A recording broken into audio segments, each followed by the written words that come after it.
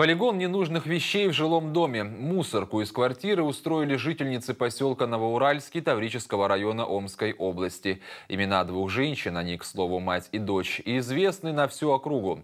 Дело в том, что помещение не принадлежит женщинам. Их туда, по доброте душевной, вселил местный житель. Три года назад у любительниц хлама сгорел дом, и односельчане помогли погорельцам. Благими намерениями, как известно, выслана дорога, в нашем случае, к сюжету. Вот эта улица, вот этот дом, а вот и добродушный Николай. Только сил терпеть соседство, особенно когда женщины не платили за коммунальные услуги, не хватило. Николай подал исковое требование о выселении гражданок. Но женщины и не собирались покидать территорию. Сегодня приставы исполняют решение суда, выселяют дам, которых нет, видимо, вышли по делам. Дверь открыл владелец. Все ахнули. От порога прихожей в каждой из трех комнат, в туалете, в ванной комнате и на кухне нагромождены нагромождены горы мусора. Соседи этих коллекционеров устали ругаться. Эти мухи все, все мошки все у меня были. И даже черви были на площадке, ползли ко мне все от них. Вонище. С ведра выносят вообще, дышать нечем в подъезде.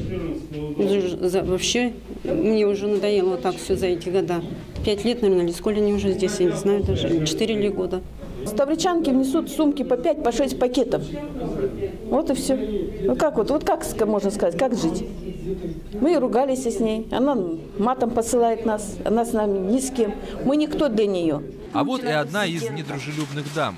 А где ваша мама сейчас находится? Не знаю, без понятия моя мама. Моя мама ни рыба, ни мясо. Замерзнешь? Куда ее спрятала?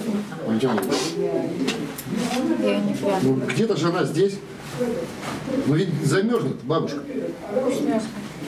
Поскандалила, но решение суда исполнила. Валентина начала с разбора мусорных завалов. В течение нескольких часов, не без помощи односельчан, женщина выносила из квартиры хлам, который она считает ценными вещами. На улице маму с дочкой не оставили. Администрация выдала дом в этом же поселке. За счет средств местного бюджета подвели водоснабжение, сделали ремонт.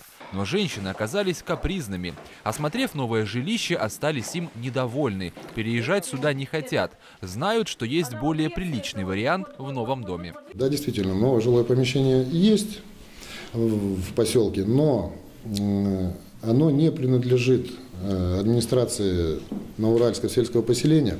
И в связи с чем э, глава администрации сельского поселения не имеет права распоряжаться этим жильем. Поэтому